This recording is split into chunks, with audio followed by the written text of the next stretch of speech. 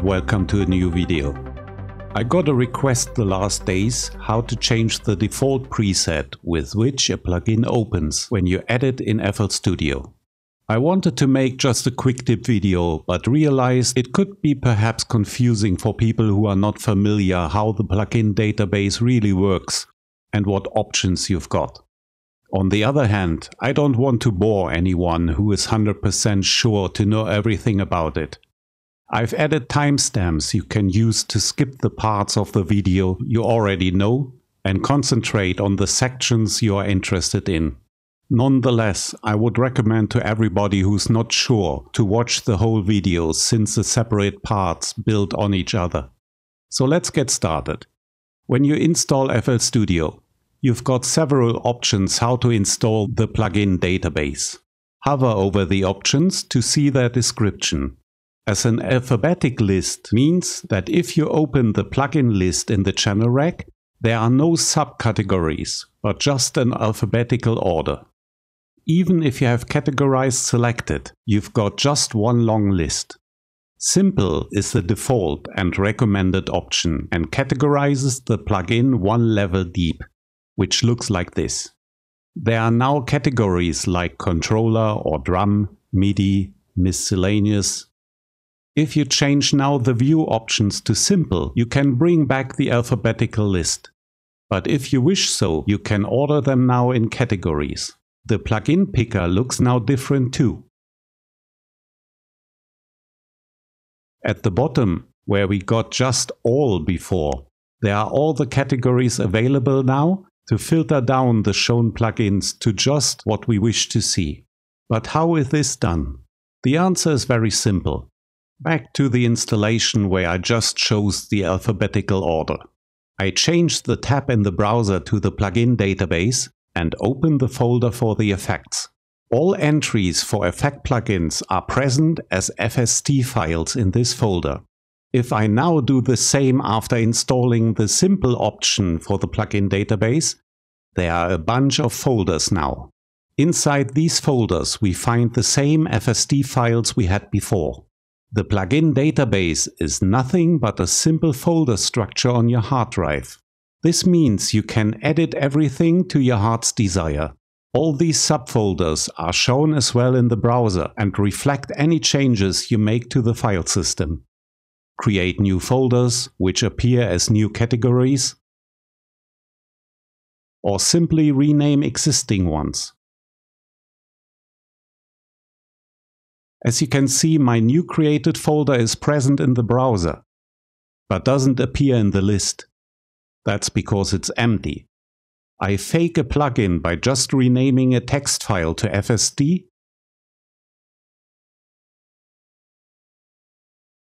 And there it is. Of course, this is no plugin, so I won't try to open it, but it proves that FL Studio just reads the file structure of the corresponding folders on your hard drive, and as soon as it finds an FST file in the right place, it makes it available as a plugin entry. I will spare myself and you the third installation option, as you can imagine, it's nothing else but an even more detailed file structure in subfolders going down one or two levels more. Now we have to look one step further. What are these mysterious FST files FL Studio reacts to? They are just plugin presets. Whenever you save a preset for any plugin in FL Studio, it is saved as a FL Studio state file, or short FST. Let's see what happens if we let FL Studio scan for VST plugins. To make things easier, I just left a few plugins in my folders. Span as a VST2 effect plugin, Vital as a VST2 instrument, and the free Bertom denoiser as VST3 effect plugin. Open the plugin manager. In the search path window, it got already all my plugin folders. If in your list there's missing something, just add it via the Add Folder button. Once you have all folders set, let it scan for the plugins. After the scanning process, there's a new folder called Installed in the database, which is of course present in the browser too. Inside this folder, it's separated into effects and generators. And inside of these, there are a bunch of subfolders for the FL internal stuff, any new found plugins, and VST2 and 3. If you want to get rid of this yellow highlighting and the new folder, simply scan a second time. In the Explorer, we find all the same entries too. Every scan plugin is represented by an FST and FL Studio state file. Let's see how we can add plugins to the list. There's first the old, more simple way. In my list, the new distortion plugin Destructor is missing. Don't worry, I've taken care of it just for demonstration. I can go to the top of my list and say More plugins. Watch first the browser and then the Explorer when I hit this little star symbol. In the browser, there was immediately a new entry for Destructor, and a second later there appeared an FST file in the Explorer. Now I find the Destructor on the top of my list and by clicking on it I can open the plugin. Let's do now the same for my VST2 and 3 plugins.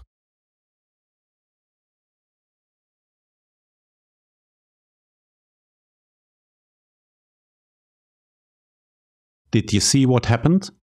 There were suddenly new folders created. Analysis after activating span and FX restoration for the denoiser.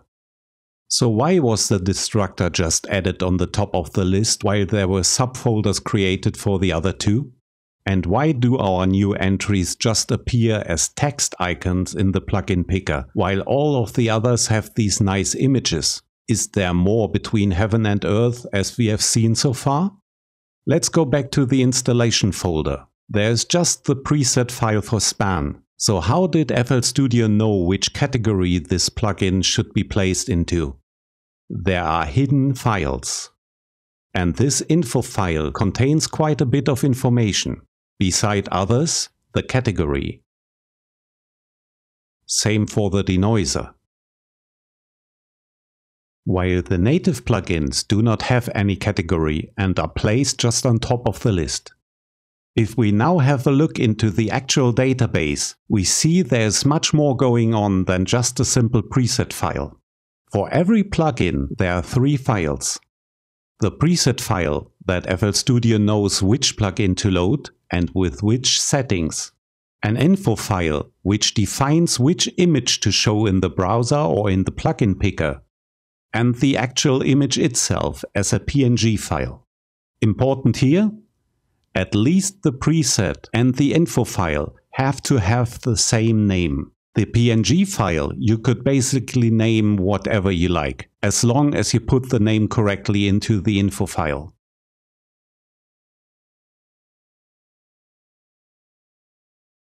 But first, how do we get all this done for new plugins we want to add? And second, how do we get around this automatic categorizing if we want to have it differently? Instead of going with the more plugins option in the list, there's a newer and more flexible way. After scanning for the plugin you want to add to your database, if you haven't already, add the plugin manually from the installed folder by drag and drop. What we are looking for is called Add to Plugin Database. But it doesn't let me, it tells me that I first have to select a target folder where my entry shall be going to. I do what I've been told and get a message where it will be added to.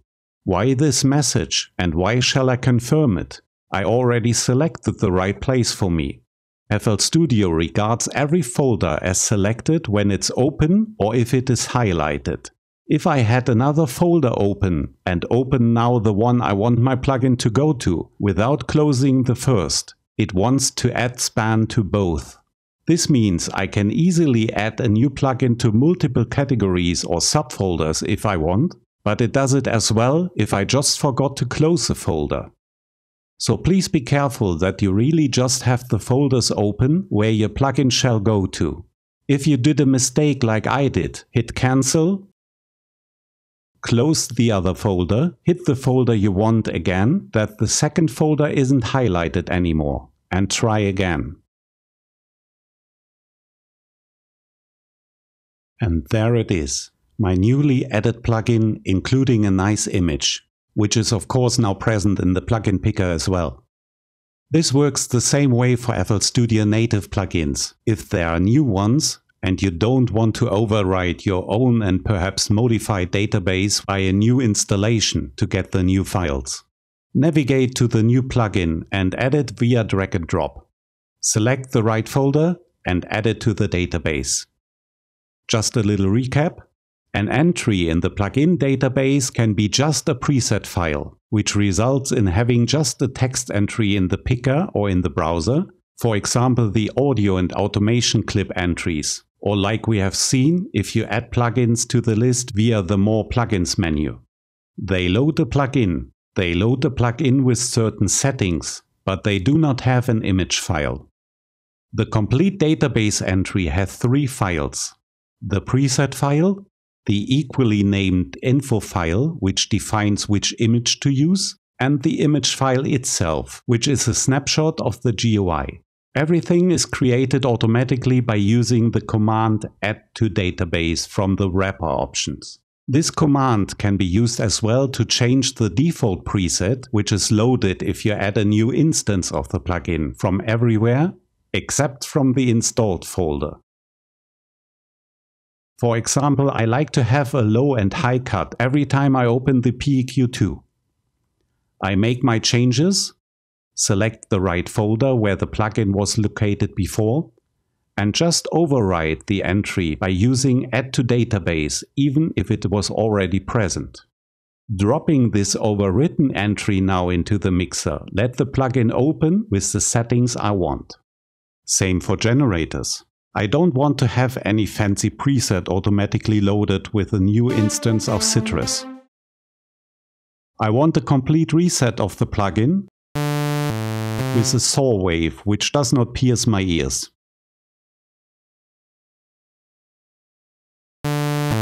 This works well until you're not happy with the snapshot anymore. If I do this trick with Destructor, and set it this way to the empty preset which I like as a default, I'm not really happy with the image anymore.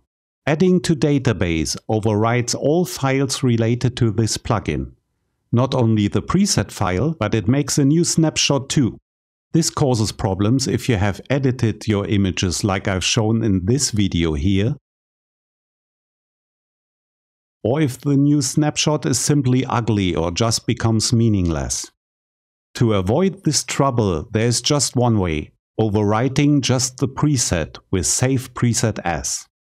Sadly, this doesn't work by drag and drop as FL Studio always prevents overwriting files and add numbers to it. So to change the default preset, you have to use the Explorer window and navigate to the right spot, which is under Presets, Plugin Database, and in this case Effects and Distortion. Select the correct preset file you want to override and let's go. While the entry in the browser still shows the nice and full image, a new instance now loads like I told it to be. If you don't want to overcrowd your plugin database and thus also the plugin picker, you can go another way too. For example, for having different startup presets for a plugin without destroying the general overview in the plugin picker, you can either use the presets directly if you've got already some. Instead of first inserting the plugin and go hunting for the preset in the GUI, you can drop them directly into empty slots or the channel rack and use them as default presets. For plugins you want to add to a place, but not inside the database, to keep it clean from just frequently used plugins, you can easily save your own presets. Create a folder anywhere on your hard disk and add this folder to your browser.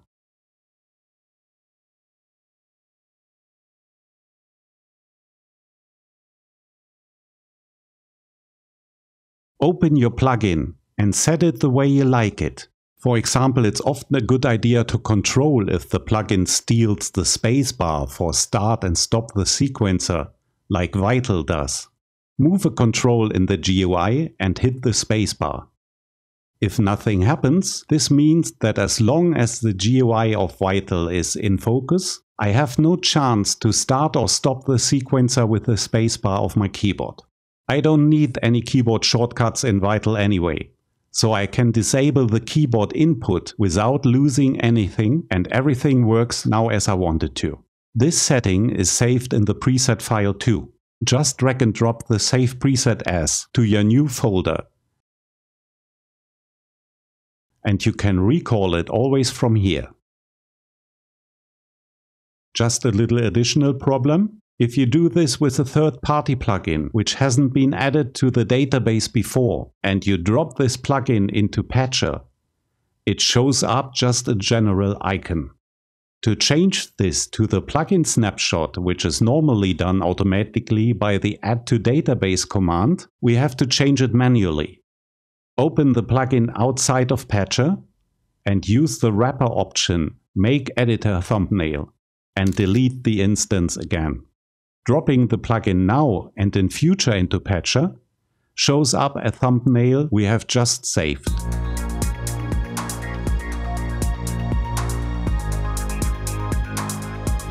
Enough for today. Stay tuned and thank you for watching.